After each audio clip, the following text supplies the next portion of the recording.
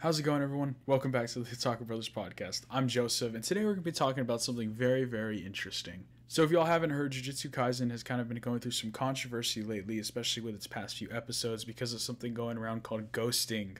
So pretty much, if you don't know what ghosting is, I'm going to get into that. But before we do, please do make sure to subscribe, comment down below, and leave a like if you haven't already. I love you guys; it means a lot and helps the algorithm get you uh, get you some of our content. So if you want to see some more spicy content, let me know, and please do, uh, yeah, comment your thoughts. Not not that kind of spicy. Oh god, that was kind of weird.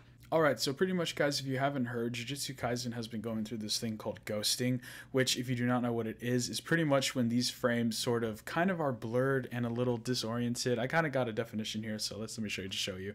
So pretty much, ghosting just refers to frames of animation blurring into each other during a fast period sequence, uh, giving a visual effect similar to swear smear frames. Oh my god. However, one key difference between the two is that smear frames are intentional and have their blur isolated to one single frame.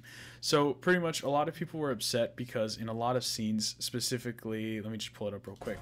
Oh man, that's that's we're not doing that. But yeah, so specifically in a couple scenes such as this one, um, yeah, it's been the, the fight scenes are kind of basically a little blurred and a little smeared, and a lot of people are just kind of a little upset about it because it's kind of ruining the quality of the animation. And I think what a lot of people are upset about is specifically is that this arc is so hyped up and so incredible. See right here. Uh, let me sorry. Let me try and pause it.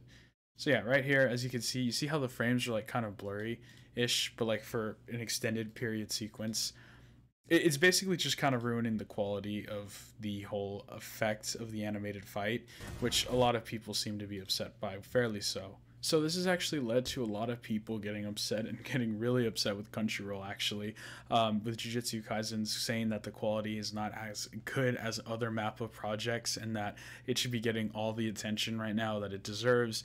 And you know, it's kind of it's kind of interesting. It's kind of a mixed bag in a weird position to be in if you're Mappa and um, Crunchyroll because obviously there's so many projects that Mappa is picking up. But personally, I I don't really see the huge issue with it. I mean, yeah, the quality hasn't been the best in those small little sequences, but overall, I still think Crunchyroll and Jujutsu Kaisen have been doing a great job. I think that so far the episodes have been looking really well. Uh, besides these couple of tiny scenes, I haven't really stood out to me. Honestly, I didn't even know this was that big of an issue until I heard about it on Twitter and people talking about it. So this has led to a lot of fans going on and already re kind of animating it themselves and working harder to um, get the episode that they kind of want from the community. And this has led to a lot of a divide between anime fans about if they should wait to watch it for for this kind of new fixed content version or if they should just continue watching the arc. And personally, I think it's a little I don't know. It's a little interesting, but it's, it's a little ridiculous, man. I mean, I get it that this is what you know Mappa should be doing, or not should be doing. I guess that's not the right word, but what is expected and what we're actually getting. And I think people need to understand that.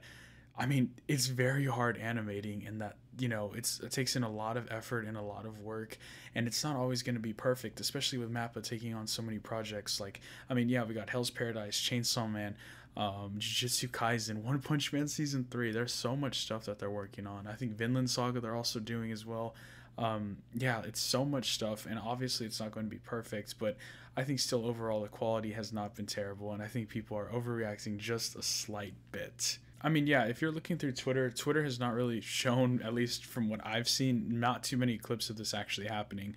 I think I've seen at least five or six different sequences um, of it having this ghosting dimming effect. And I honestly don't think that's bad. It's really not that much.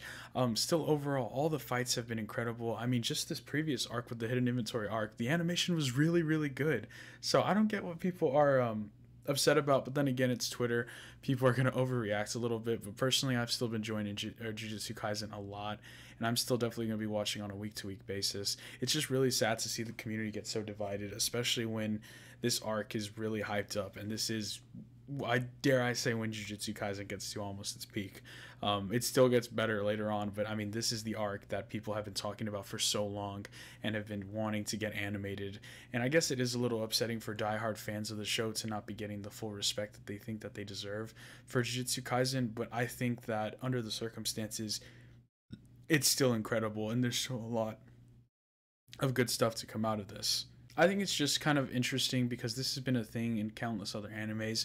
I mean, people have talked about it before in One Punch Man, JoJo's, and I think maybe even One Piece. And you know, obviously with shows that are going on for so long, and you know that they're you know under work and under pressure, a lot of studios are trying to get these episodes out, and animators are doing the best they can. So I think it's important that we just kind of respect and understand that you know it's not like they're doing this intentionally. They're doing their best and they're trying to get out what they can in the amount of time that they're given.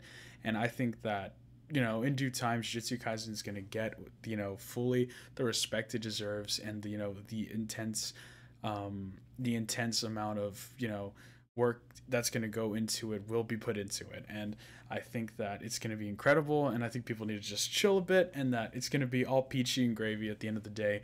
Um, but yeah, like I said, I'm still going to be watching Jujutsu Kaisen. We're still going to be talking about it weekly. If you guys want to hear more info about our thoughts on the whole thing and what Ben has to say, we are going to be having a podcast coming out Tuesday. So yeah, make sure to stay tuned for that. And I love you guys. And I, uh, I'll see you all later. Make sure to watch Jujutsu Kaisen. It's Pog. See you guys. Peace.